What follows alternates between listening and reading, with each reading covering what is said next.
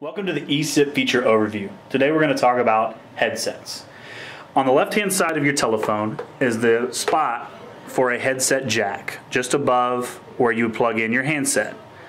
Simply take your headset, plug it in, and then return the phone to normal.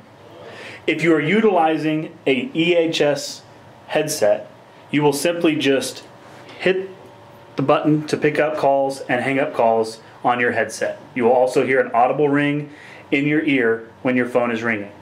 If you do not have an EHS supported headset, you will need to utilize the headset key to send calls to your headset. And that covers headsets on the eSIP solution.